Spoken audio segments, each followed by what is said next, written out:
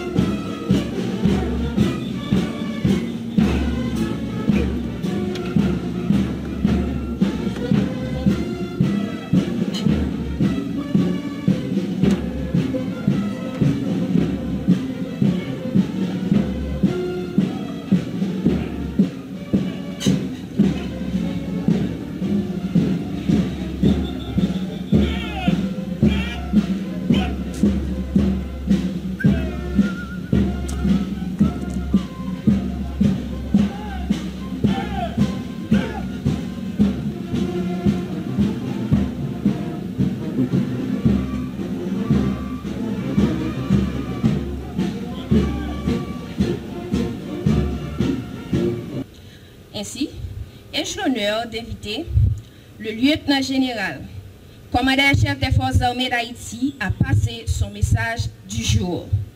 Mon général.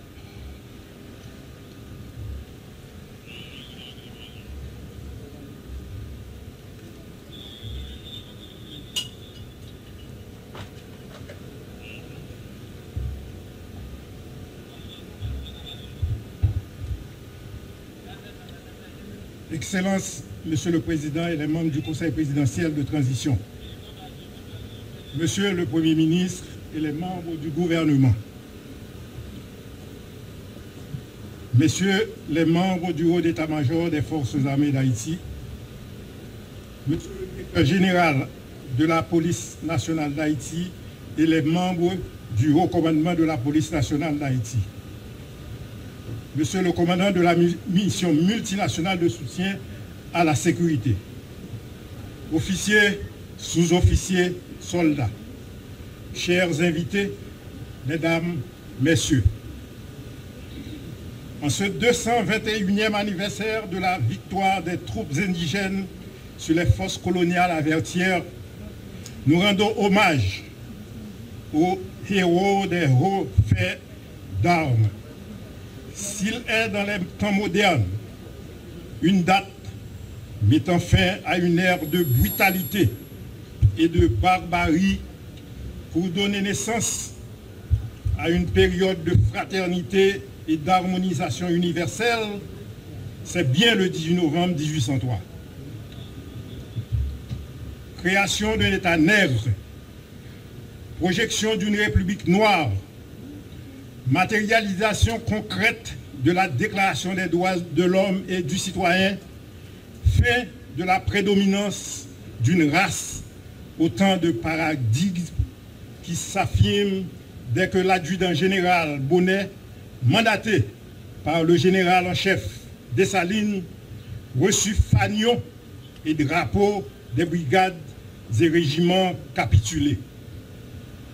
Et notre armée, de rien se sublima en scellant en état-nation.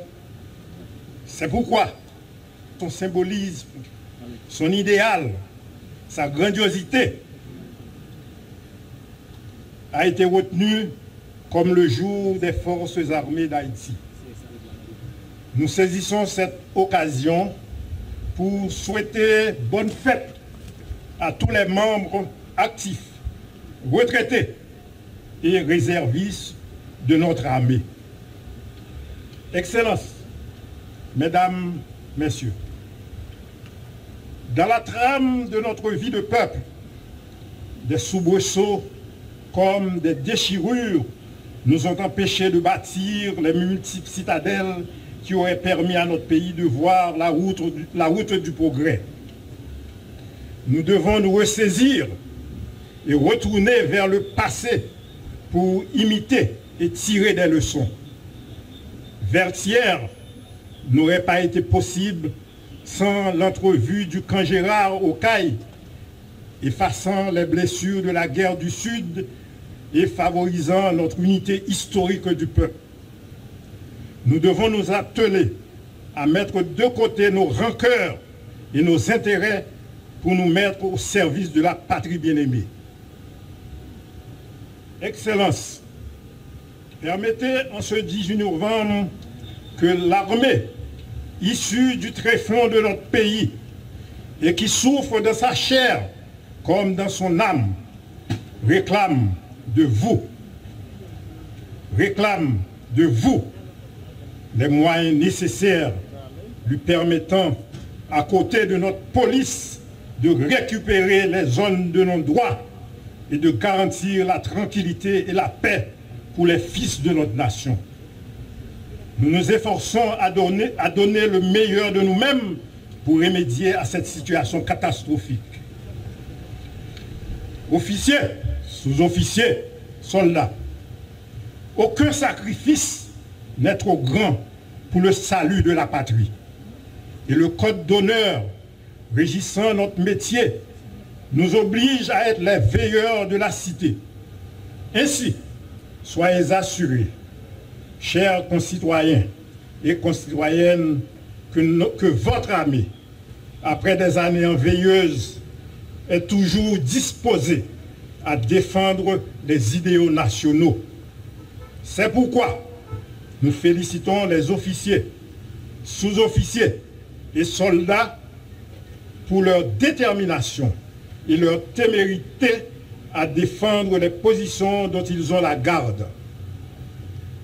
Désormais, que l'esprit de Capois nous habite, que la foi inébranlable du général Dessalines soit notre boussole et surtout que l'esprit d'abnégation, de sacrifice des, des marrons inconnus nous traverse. Sous le leadership avisé des autorités constituées, redoublons pour que demain soit symbole d'espoir, de fraternité et d'une Haïti renouvelée. Que Haïti soit la seule et unique préoccupation de notre institution.